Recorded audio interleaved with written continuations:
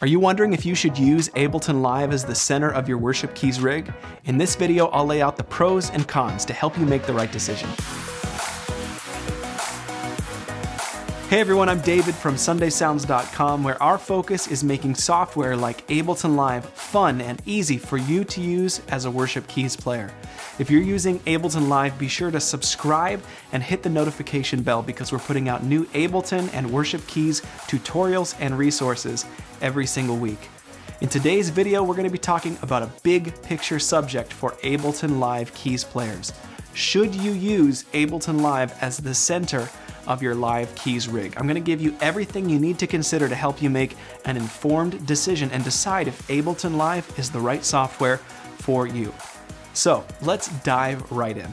The first thing that you need to figure out is your budget and how choosing Ableton Live will affect it.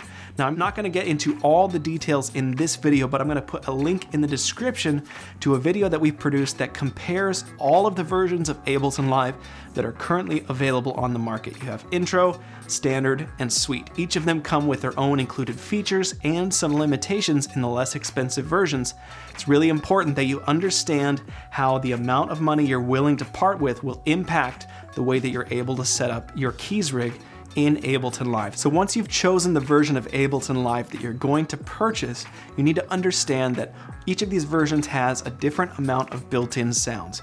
Now, if you spend the most money and get the Suite version of Ableton Live, then there are some amazing instrument plugins and presets that are gonna come with that purchase. But many of you might not be willing to drop that much money to get built-in sounds. Personally, I'm a big fan of purchasing Ableton Live Standard and then doing something like third-party instrument plugins from Omnisphere or from native instruments. Regardless of the direction you decide to go, you have to figure out where you're going to get the sounds you're going to use from because unlike other software like MainStage 3, which comes with thousands and thousands of built-in instrument plugins and effects, Ableton Live isn't quite as generous with what's provided, especially at the intro and standard tiers. Now, if you need lots of ready-to-play sounds without breaking the bank, our Sunday Keys template for Ableton includes tons of ready-to-play worship key sounds that we've custom sampled and brought into Ableton Live, and you can use it in intro, standard, or suite without needing any expensive third-party plugins. Once you've sorted out where you're gonna get your sounds from, you have to figure out how you want to structure the way you'll use them during a live performance. Unlike MainStage 3, Ableton Live is a big open sandbox with lots of different ways to approach triggering your sounds during a live performance. The problem is that Ableton Live wasn't really designed with this use case in mind and it doesn't provide a lot of hints or help along the way for you to be able to figure out how to set it up.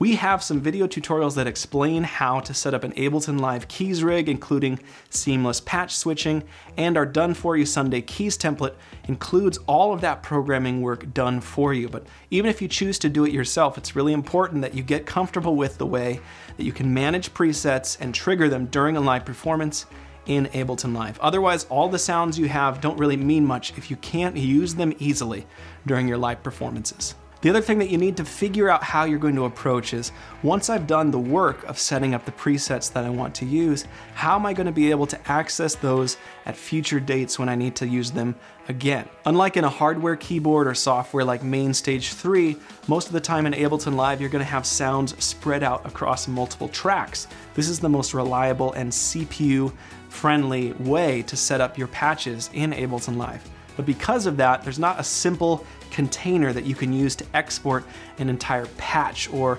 selection of sounds as a preset. So you have to figure out and learn how you can manage presets in Ableton Live using instrument racks, the user library, and building sort of a master set that includes all the work you've ever done. Now, if you're not super familiar with any of that terminology and how it works, don't worry about it. You can check out Ableton Live's built-in documentation for help on saving instrument presets, interacting with the user library, and how you can manage multiple sets within an Ableton Live project. that still seems pretty intimidating, all of it's covered in the video documentation that comes with Sunday Keys for Ableton.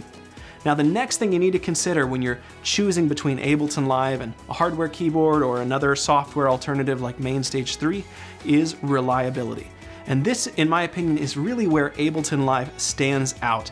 Ableton Live is rock solid for live performance. It's streamlined, it's super lean, it doesn't use CPU resources it doesn't need, and I've had a really great experience using this for live performance without having to worry about hiccups, crashes, or glitches. So if reliability is paramount to your consideration, especially if you're on a computer that you're not sure is quite up to the task of running a more CPU intense program, then Ableton Live is a really good choice. The last thing I'd like to do in this video is just compare it a little bit to MainStage because this is the comparison and the question that we get asked the most here at Sunday Sounds.